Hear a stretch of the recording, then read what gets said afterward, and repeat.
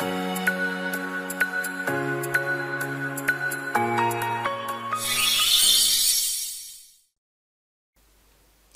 い、えー、それでは12月11日の3問に入ります。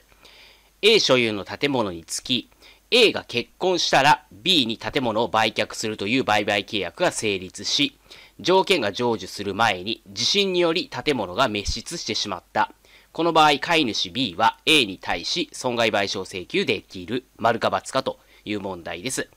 考えたい方は動画ストップしていただいて、この動画の下の概要欄から問題文ご確認ください。で、答えは、え、どうかというと、B は A に対して損害賠償請求できませんので、誤りですね。停止条件付きの売買契約において、債務者に奇跡自由なく目的物が滅失した場合、まあ、債務者っていうのは売り主ですね、今回で言うと。売り主の責任じゃない理由で、えー、建物がなくなっちゃったよと。そういった場合、債務者、売り主は債務不履行の責任を負いません。なので、買い主 B は売り主に対して損害賠償請求はできないので、誤りとなります。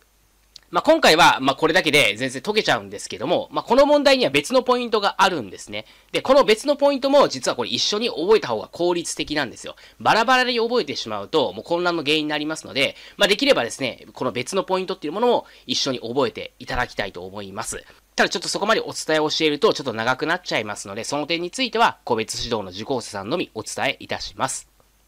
で、問いにですね、宅建業者 A が一段の宅地建物の分譲を行う場合、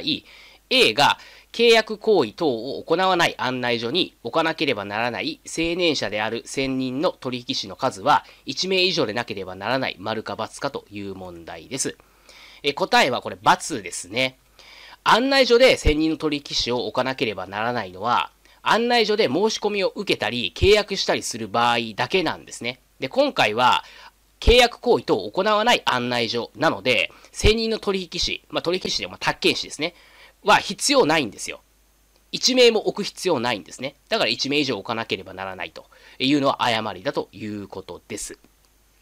で、試験の作成者っていうのは、このあたりを狙ってくるんですね。なんで、まあ、個別指導の受講者については、案内所等の考え方、これ別途ですね、えー、合わせて、えー、お送りさせていただきます。受講者専用のメルマガで、えー、お送りさせていただきますので、えその点ご確認いただければと思います。案内所については本当得点源なので、引っ掛け問題であっても、何であっても、え絶対得点しましょう。で、土地区画整理法ですね。仮勘地指定の結果、使用し、または収益する者のいなくなった従前の宅地についても、従前の宅地に関する権利は残るので、施工者は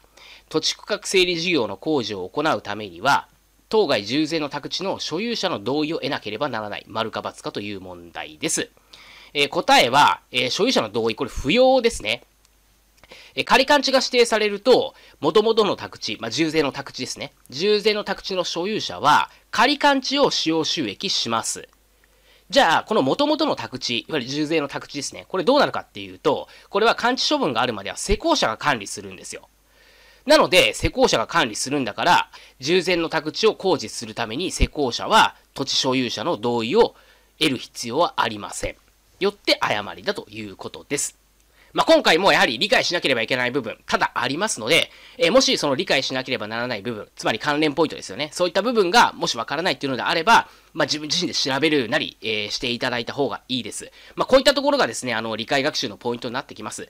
でもし自分自身でそこまで調べるの難しいなとか、何がポイントなのかっていうのがわからない場合は、ぜひですね、個別指導をご検討いただければと思います。え個別指導についてはこの動画の下の概要欄に URL を貼っておきますので、ぜひ、えー、来年絶対合格したいという方は、ぜひご確認いただければと思います。